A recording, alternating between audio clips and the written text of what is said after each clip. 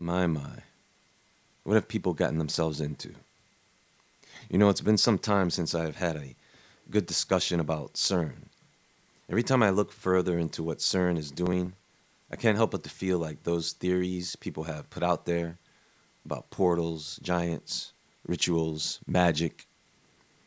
I'm starting to feel that this is really the case. Now, that is not to say that what they are trying to do is working, but what are they doing? I mean, really, why are they doing this? CERN's mission statement. At CERN, our work helps to uncover what the universe is made of and how it works. We do this by providing a unique range of particle accelerator facilities to researchers to advance the boundaries of human knowledge. The laboratory, established in 1954, has become a prime example of international collaboration.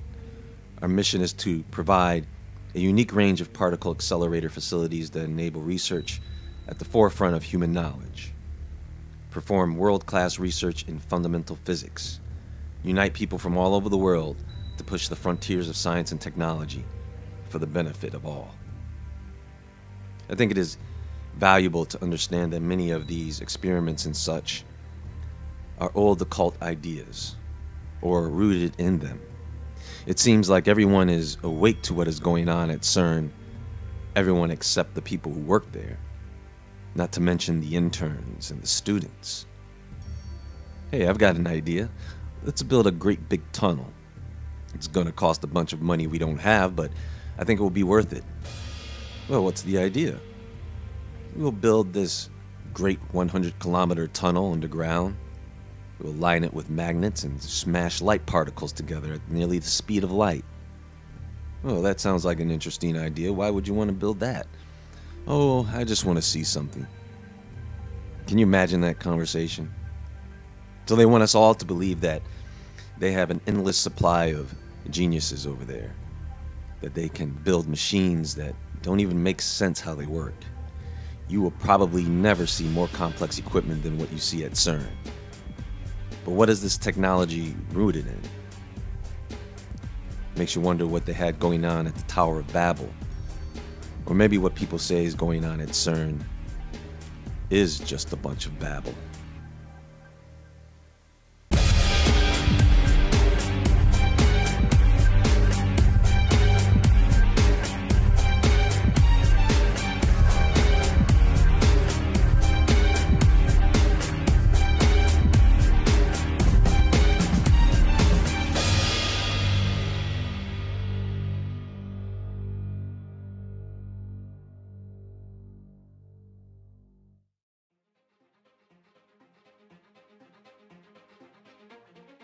Let's go slow here. What does the Tower of Babel have anything to do with CERN? Why would someone make that connection in the first place? First, we need to find out everything we can about this tower. Maybe not all in this presentation, but the information that may be valuable here. Here's the scripture in Genesis 11. And the whole earth was of one language and of one speech. And it came to pass as they journeyed from the east that they found a plain in the land of Shinar, and they dwelt there. And they said to one another, Go to, let us make brick, and burn them thoroughly. And they had brick for stone, and slime had they for mortar. And they said, Go to, let us build us a city and a tower, whose top may reach unto heaven, and let us make us a name lest we be scattered abroad upon the face of the whole earth. And the Lord came down to see the city and the tower, which the children of men builded. And the Lord said, Behold, the people is one, and they have all one language.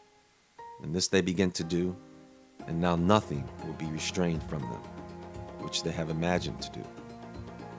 Go to, let us go down, and there confound their language that they may not understand one another's speech. So the Lord scattered them abroad from thence upon the face of all the earth, and they left off to build the city. Therefore is the name of it called Babel, because the Lord did there confound the language of all the earth, and from thence did the Lord scatter them abroad upon the face of all the earth. Understand that this is one of the most well known stories of the Bible that has grown beyond what is actually written. These verses are cleverly constructed to give more meaning to the wordplay. For one thing, in Genesis 10, it's kind of been established already that there were other languages. In 10:5 it says, "By these were the isles of the Gentiles divided in their lands, everyone after his tongue, after their families, in their nations." Second, the phrase "go to, let us" is used 3 times, twice by humans and once by God.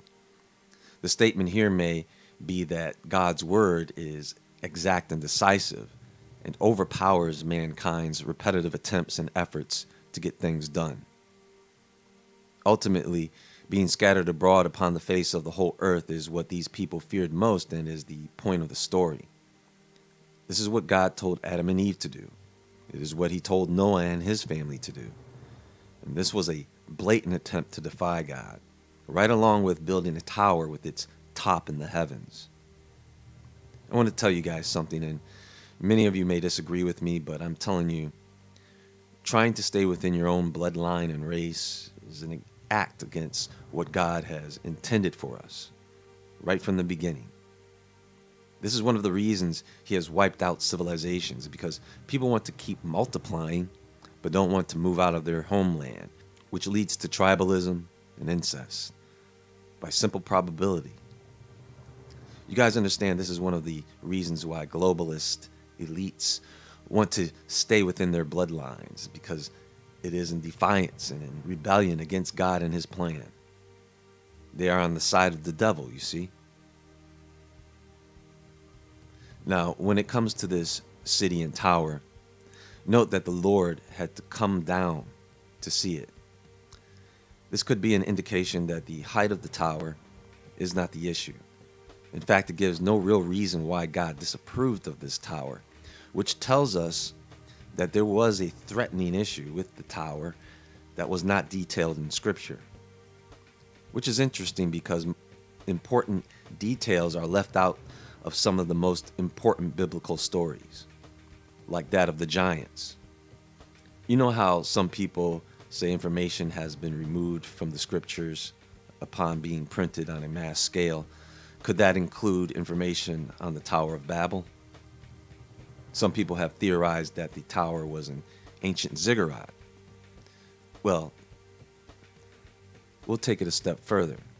Some people believe the tower to be some type of alien airport or even a portal of some type, a stargate, which brings us back around to CERN. You know what kills me? They want to call people conspiracy theorists and they want to tell us that we are all wrong about them and their intentions. And then you see CERN print stuff like this in 1970, undermining the Tower of Babel. Do you see the deception here, folks? They are the ones who propagate and put these theories out there. You ever wonder where these theories about the government and shadow government comes from? them hiding aliens and UFOs, it comes from them. They start up these theories. Undermining the Tower of Babel. A language laboratory has been in use at CERN for just over a month. It is designed to cater for those who wish to learn English or French or Russian rapidly, and it makes full use of the very latest audiovisual methods. This process of de-Babelization is all the more welcome at CERN, since the courses are almost completely self-financed. So, let's just be real about what is going on with and at CERN. If you have watched my other videos on CERN, you may get the idea that there is so much going on all over the place. This is really complex stuff and there are many compartments. Think of it like a campus of facilities and operations. But most people on this campus always go to the same two or three buildings. So most people only so most people only know about the LHC, the magnets, maybe the cloud experiments, and maybe people have some knowledge on their detectors. But CERN has so many things going on there and at other locations. Most people only care about the agenda portals, the Mandela effect, the abyss, demons, occult rituals. And CERN, they are the ones who get these theories out there. It wasn't any one of us who was out there in black robes in the front of the statue of Shiva. By the way, we didn't put the statue of Shiva, the destroyer, in the front lawn. Who said anything about black holes, dimensions, antimatter, dark matter? That's all them. They put that out there. How many of you have heard of CERN's Mad Max experiment? Now you're probably thinking, what? Yes, Mad Max experiment. It's the magnetized disk and mirror axion experiment. They couldn't even use the actual acronyms. They had to be funny and call it Mad Max. You see what I'm talking about? CERN's commercial they released years ago is a creepy video with a creepy dance in it. Mad Max. So, this is an experiment to confirm the existence of axions or dark matter. And they plan to use this experiment to convert axions into photons. And that's where I had to say, wait a minute. See, they always do this. We're not sure this particle exists, so we're going to use all these resources to build experiments to prove they exist, even though we already know that they do. What they are saying is if they can convert these axions into photons, then there you go, axions exist. Instead of saying they are pulling light particles out of nowhere, they're going to use one of their aged magnets, the Morpurgo magnet. And it's just the prototype. Wait till they have a full scale experiment up and running. And I'm thinking, why does it have to be larger? They really want to create light out of nothing. Where is this going? But you know, they say they're planning to have Mad Max up and running at DESY by after 2025, which is the German version of CERN.